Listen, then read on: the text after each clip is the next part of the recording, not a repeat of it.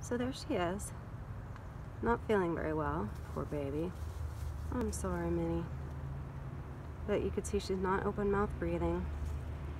She's clearly not feeling well, like she is sore. Because she's doing the eyes closed thing and just sitting there. And then this is her little buddy, and she's also chilling. So they're all. I'm sorry that happened, baby.